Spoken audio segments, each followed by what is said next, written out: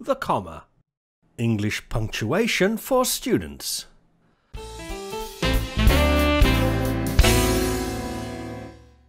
Oscar Wilde, a great British writer, once admitted to spending an entire morning removing a comma from a poem. Asked if that was all he had done, Wilde replied, By no means. On mature reflection, I put back the comma. If a great writer like Oscar Wilde had difficulty in deciding where and when to use a comma, what chance have the rest of us got? Notice that in the last conditional sentence, I placed an obligatory comma between the if clause and the result clause. This is one place that a comma must be used. Interestingly, you don't have to use a comma if the if clause comes second, as it does in this very sentence. The precursor to the modern English comma was one of the three dots placed on the page by that bloke from Byzantium, Aristophanes. He had a dot at the top of the line, a dot in the middle of the line, and a dot on the baseline. Ari's top dot represented the full stop, the dot in the middle, the comma.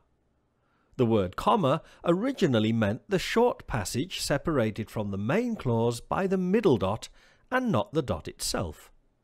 The dot itself was called the media distinctio, which is quite a mouthful, so it's not hard to see why people started to call it the comma instead. The true father of the comma, however, was Aldus Manutius, an Italian humanist, printer and publisher. He designed the comma to look like a small ear, because he reasoned that it represented a pause where you don't actually hear anything. This caused something of a scandal in an age where men's ears were forbidden to be shown in public. But the comma quickly became adopted by all printers and has remained the symbol of the short pause ever since. The acceptance of Aldus's comma made the display of the male ear outside of the bedroom acceptable, which in turn led to the shortening of men's hair and a proliferation of barber shops throughout Europe. As well as indicating a short pause, commas are also used to avoid ambiguity. Most of the time travellers don't carry luggage with them. Most of the time, travellers don't carry luggage with them. In the first sentence, we're saying that the majority of people who travel through time don't carry luggage. In the second sentence, we're saying that travellers in general don't carry luggage with them. Say them aloud and you'll hear the natural pauses where the commas should be. Commas are most useful when dealing with lists. I love cooking frogs and motorcycles. What a bizarre thought. I love cooking, frogs, and motorcycles. Well, that sounds more normal at least, doesn't it? That last comma after frogs is called the Oxford comma, and it's optional. Use a comma to separate things from each other in a list and thus avoid confusion. Furthermore, we also use commas to set off certain adverbs such as in fact, however, therefore, nevertheless, moreover, still and furthermore. For some adverbs, however, the comma is optional, yet I tend to use them too. These adverbs include so, yet, instead, too, and then. So that's pretty straightforward, isn't it? Notice here that question tags are also set off with a comma, aren't they? If there's any extra information which could be removed from a sentence, set it off with commas too. This extra information, you won't mind me saying, can be removed without damaging the main sentence, can't it? The same is true, which means it is to be believed, for non-defining relative clauses. Coordinate adjectives, which are not as complex as they sound, modify the following nouns and are separated by commas.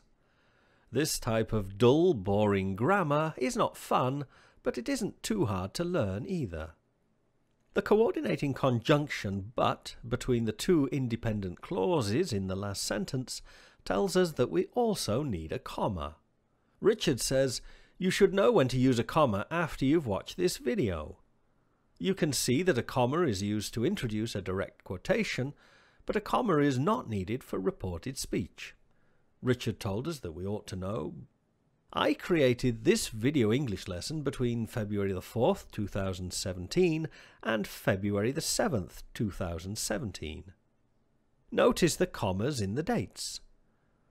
You can study the use of commas until the cows come home, but someone will always have a different opinion when it comes to the non-obligatory commas. My advice is, if in doubt, put a comma where you have a natural pause. It's comma sense. And remember that cats have claws at the ends of their paws, while a comma is a pause at the end of a clause. That is, if we think about it a little, why little commas look a little like little ears. If you enjoyed or endured this video English lesson, please click the like button, leave a comment, share it with your friends, and be kind to pumpkins. Now let's watch the video with subtitles, shall we? Oh, but before we do, I'd like to take a moment to tell you about my ebook, Sounds British, an interactive British English IPA chart. You can find more details at soundsbritish.com. I hope you'll take the time to support my work by buying yourself a copy of this very popular ebook or any of my other English learning material at britlish.com. The comma. English punctuation for students. Oscar Wilde, a great British writer, once admitted to spending an entire morning removing a comma from a poem. Asked if that was all he had done, Wilde replied, By no means. On mature reflection, I put back the comma. If a great writer like Oscar Wilde had difficulty in deciding where and when to use a comma, what chance have the rest of us got? Notice that in the last conditional sentence, I placed an obligatory comma between the if clause and the result clause. This is one place that a comma must be used. Interestingly, you don't have to use a comma if the if clause comes second, as it does in this very sentence. The precursor to the modern English comma was one of the three dots placed on the page by that bloke from Byzantium, Aristophanes. He had a dot at the top of the line, a dot in the middle of the line, and a dot on the baseline. Ari's top dot represented the full stop, the dot in the middle, the comma. The word comma originally meant the short passage separated from the main clause by the middle dot and not the dot itself. The dot itself was called the media distinctio, which is quite a mouthful, so it's not hard to see why people started to call it the comma instead. The true father of the comma, however, was Aldus Manutius, an Italian humanist, printer and publisher. He designed the comma to look like a small ear, because he reasoned that it represented a pause where you don't actually hear anything. This caused something of a scandal in an age where men's ears were forbidden to be shown in public. But the comma quickly became adopted by all printers and has remained the symbol of the short pause ever since. The acceptance of Aldus's comma made the display of the male ear outside of the bedroom acceptable, which in turn led to the shortening of men's hair and a proliferation of barbershops throughout Europe. As well as indicating a short pause, commas are also used to avoid ambiguity.